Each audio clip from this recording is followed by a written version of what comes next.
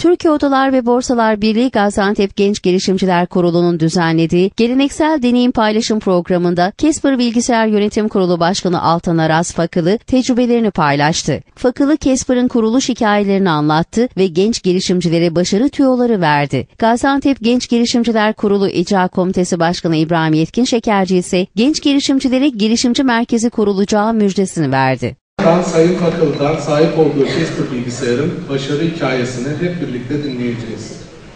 Eminim bu hikayeden hepimiz katma değerli ürün ve hizmet üretimi alanında önemli dersler alacağız. Dünya Endüstri 4.0 yani 4. sanayi devrimine girdi.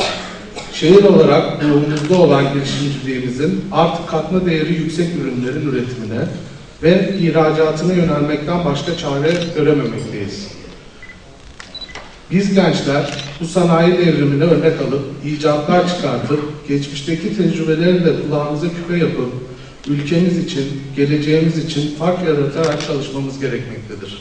Özellikle tecrübe paylaşım toplantıları ile sadece gençlerin değil, bizlerin de ufkunu açıyorlar.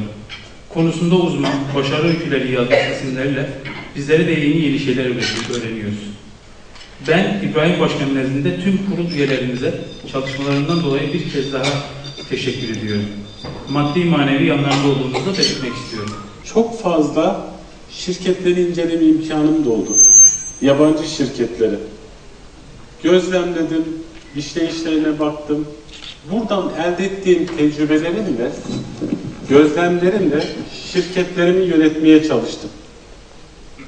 Tabii ben bu yolu tercih ettim. Eğer sizin bir imkanınız varsa, eğitim alma imkanınız varsa mutlaka alın. Daha kolayına gidin, daha çabuk öğrenin. Bu yol biraz daha zor oldu. İş kitapları da okumadım. Strateji kitapları da okumadım. Bunun yerine tarih kitapları okumayı tercih ettim. Çünkü aradığım bütün soruları tarih kitaplarında buldum. Bana ışık oldu. Ve hayatım boyunca da hep okurum.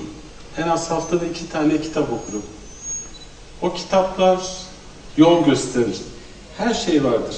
İş vardır, hayat vardır, tecrübe vardır, strateji vardır. İnanamayacağınız detaylar vardır. Hep bakıyorsunuz tarih tekrar eder. Şu an yaşadıklarımızda, geçmişte hep tekrar ediyor, size bir şeyler verir. İngilizce sözlükten 4 ile 6 harf arasını tercih ediyordum.